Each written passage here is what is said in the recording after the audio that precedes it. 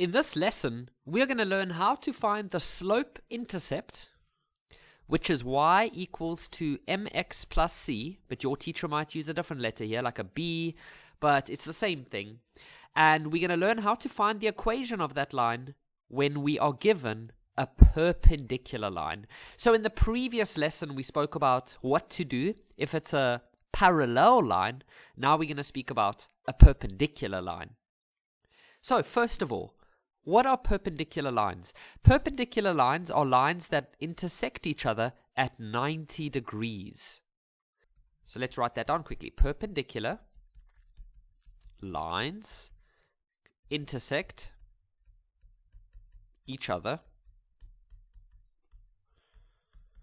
at 90 degrees.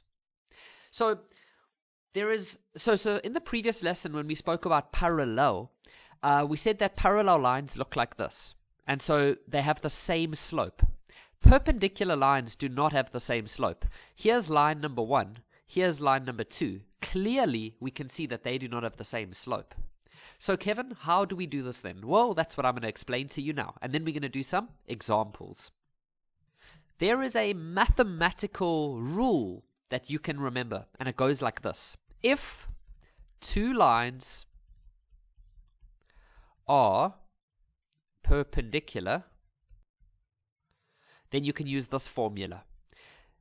m1, so that means the slope of the first line, multiplied by the slope of the second line, should always equal minus 1. This is a mathematical formula that you are allowed to use when two lines are perpendicular.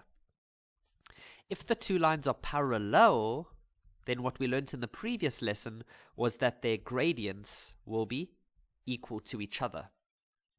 And then for perpendicular, what we've just learnt is that you can use this formula. Okay. So let's see how it actually works in practice. So here they want us to determine the slope-intercept equation of a line. So straight away I'm going to write out the generalized formula, which is like that. Now, they told us that it's perpendicular to this line over here. So what I can do, we can maybe let, let's call this line number one. And let's say that we are trying to find line number two. We don't know what line number two is.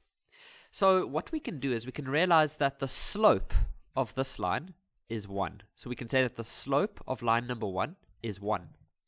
Then because the two lines are perpendicular, we can use our formula that we've just learnt about that goes like this. It's always equal to negative 1. It's like a magic number.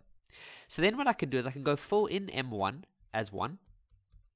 And then what I can do is I can get the gradient of, or the slope of m2 by just saying minus 1 divided by 1, because that's a 1 over there.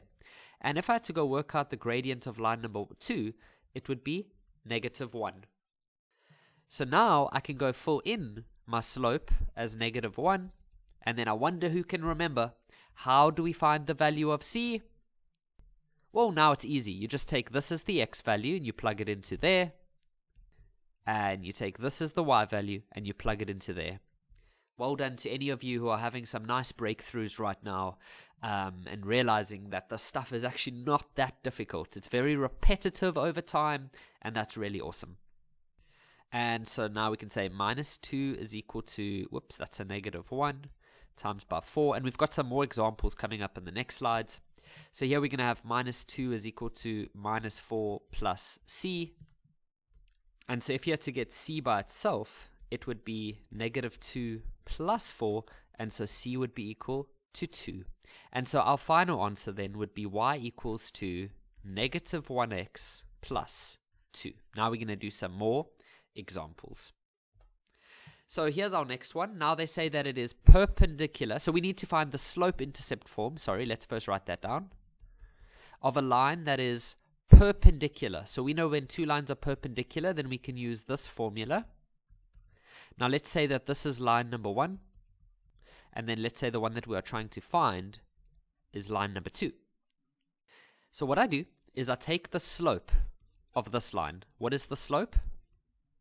Well, the slope is going to be 1 over 3. And so I just say 1 over 3 multiplied by m2 equals to negative 1. Then to get m2 by itself, I can say negative 1 divided by 1 over 3. And if I do that, I should find out that the slope of m2 is negative. So then I can take that value and plug it in over here now as negative 3x plus c. Then to find c, I can just plug this into the x value and plug this into the y value. And then suddenly we have 0 equals to minus 3 times 1 plus c. c would be equal to positive 3 when you take that all over. And so the final answer for this one would be y equals to negative 3x plus 3. The next example is really good. You'll see why now. It is because this line is not written in the normal straight line slope intercept form. So they tell us determine the slope intercept equation. So let's go write that out. Of the line that is perpendicular. So once again, when two lines are perpendicular, if you multiply their two gradients together, you get negative 1. This is just a formula you got to memorize. So now, some students are going to say, oh, Kevin, look, the slope, it's minus 6 because it's in front of the x, so that's the slope, right? But that is wrong. Remember, you can only say that this is the slope when the y is completely by itself. So we first need to get this y completely by itself. So let's quickly write this down. So you can do this in different ways, but I'm going to take the 6x, which now becomes positive on the other side, and the 12, which is now negative on the other side. Then I'm going to divide everything by 3. And so I end up with y equals to 2x take away 4. Now we can say that this over here is line number one, and the one that we are trying to find is line number two. I can now get the slope of this line because the y is completely by itself, so there's the slope. So we can say then that the slope of line number one is 2. Then I can use this formula over here, which is m1, I'm just writing it again for us, like that, and I can say 2 times the slope of line number 2 is minus 1, then slope of number 2 would be equal to minus 1 divided by 2, because I have to divide by 2 on the side. And so the slope of line number 2 is negative a half. And so I can plug that into there. So then what we'd have is y equals to negative a half x plus c. And so then to find c, I'm just going to take this as point, um, so that's the x value that I can plug in and this over here is the y value. So we can end up with 5 equals to negative a half times 3 plus c. And so 5 is equal to negative 3 over 2 plus c.